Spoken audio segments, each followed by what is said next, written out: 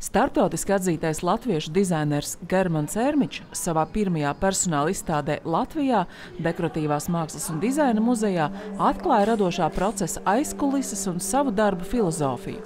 Viņa dizains pievērsis skatītāju uzmanību Instagram paviljonā Kannās vai metro stacijā Seulā.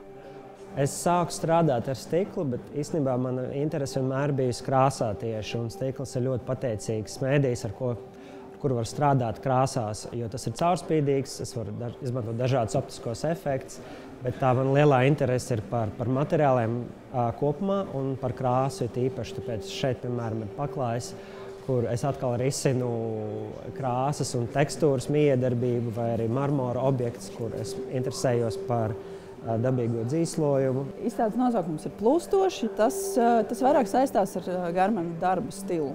Kaut kādā mērā droši vien parāda arī to darbu ar krāsu, kas, manuprāt, ir tāda ļoti gleznieciska tā, tāds pieejams. Tas ir kaut kas, kas ir uz robežas starp mākslu un dizainu.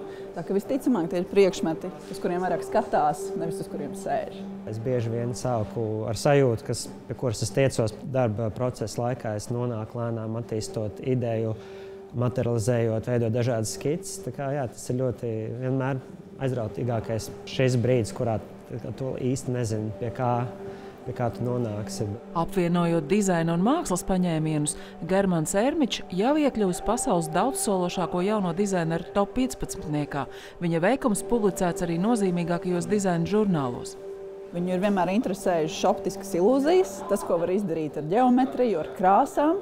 Tas izpaužas vairākos viņa darbos, kur, piemēram, ir interesanti strādāt ar perspektīvu, kas paver tādus pārsteidzošus skatus. Viņš sāk savu dizaina procesu no krāsas, domājot par to kā par tādu plūstošu masu, kuru var veidot, gluži kā tādus mālus. Trešā lielā tēma būtu um, mēģinājums dažādas lietas, kas eksistē divās dimensijās, kas ir piemēram zīmējums vai kaut kāds geometrisks attēls, iedot tam trešo dimensiju. Augstāko izglītību Germans Ermičs ieguvis Nīderlandē, Eindhovenas dizaina akadēmijā.